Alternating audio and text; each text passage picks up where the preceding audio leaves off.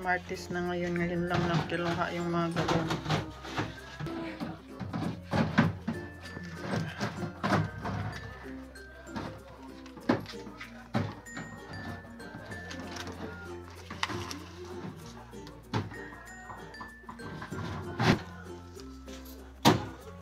Ha?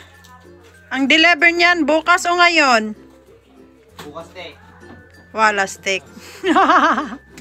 ah, walang painante? 200 lang siya ako ng penalty. Nag-deliver kasi ako kahapon ng ano, company. Tapos siya yung pinante ko din kahapon. Ah, Sa L3. Ayun. Puro kami driver eh. kulang sa tauhan. Ay, lintik naman. Pag nagpinangga, eh, bukasan, sabihin mo na, tatawagan ka lang. Oo. Kunti na. Kunti na lang nakukuha.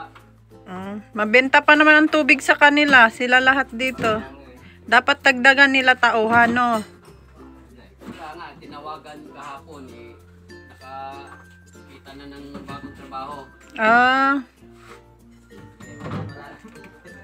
Pinasok lang ng dalawang araw, lunis, martes. wala na din.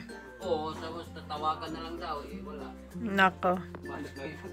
Manap na yun ng ibang trabaho.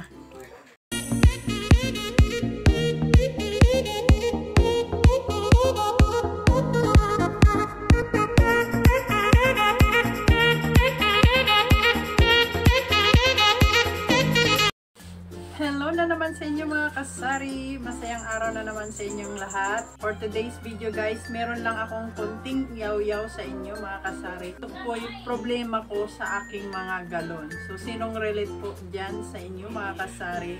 So, 10 years na po akong nagtitinda ng tubig mga kasari. Pero, paulit-ulit yung problema ko tungkol sa galon.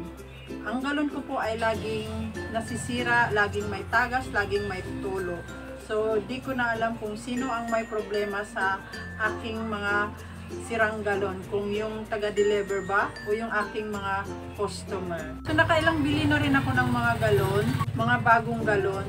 Tapos, malaman na lang namin ng aking asawa na meron na namang tagas ang aming galon. So, minsan nagtatalo na kami ng aking asawa dahil hindi ko daw sinasabihan yung taga-deliver eh, pinagsabihan ko naman pero wala rin naman silang magagawa dahil di daw nila kasalanan.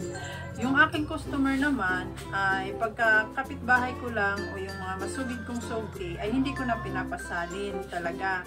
Pero kung mga malayong lugar o taga dulo, taga baba ay talaga namang pinapasalin ko na lang talaga yung mga binibinil ng tubig. So hindi ko pinapadala sa kanila yung aking mga galon. So, yun po yung sistema ko dito sa aking tindahan mga kanegosyo.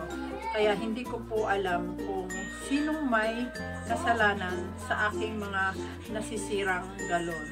Kung mapapansin nyo guys, yung nag-deliver kanina, yung pinakita kong video, siksik talaga sila noong maglagay ng galon sa kanilang sasakyan.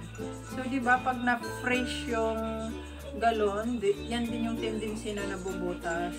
Minsan nga sa sobrang puno sila mag-deliver, di ba, nagbabounce yung tubig. Kaya siguro, isa din yung dahilan na nabubutas yung, yung galon. So, ulit-ulit yung problema ko tungkol sa galon. Wala namang solusyon hanggang ngayon.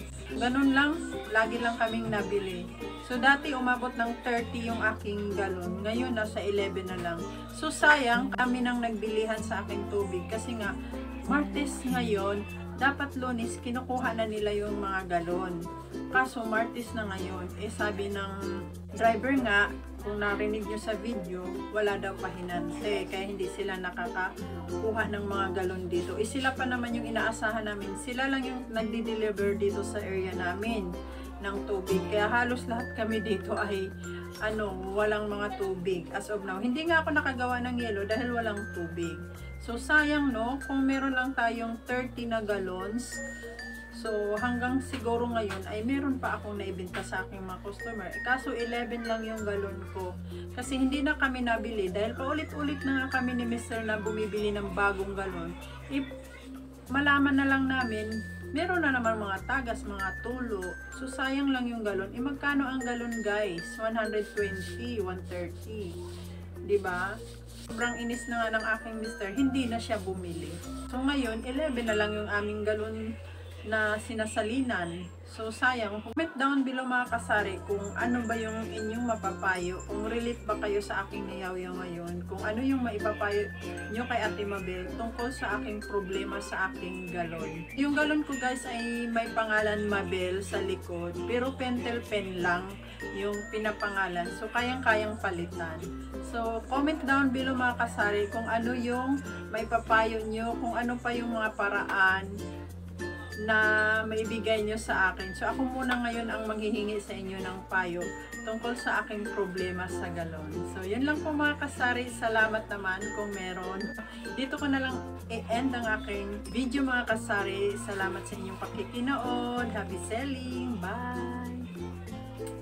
Many hours later. Ito na yung mga napadeliver sa ating tubig, guys. Tingnan nyo. Ayan, 240 binayaran ko. 12 na galon ang nandito sa atin. 2, 4, 6, 8, 9, 10, 11, 12. Tingnan nyo. Ayan, oh, unti-unti nang may tumatagas. Tapos dun, oh, unti-unti nang may tumatagas. Ibig sabihin, may galon na naman na natulo. So, ito pala ay nilagyan nila. Natulo kasi to. So, kunin natin to. Tsaka ito, nilagyan ko ng NG, ibig sabihin not good na galon. So, natulo din yan. So, kunin ulit natin yan. Palipat na lang natin sa mga kapitbahay kung may galon. Ayan. Yun lang po yung sinishare ko sa inyo mga kanegosyo problema ko sa aking mga galon. Ayan. Natagas na siya unti-unti, oh. Sayang.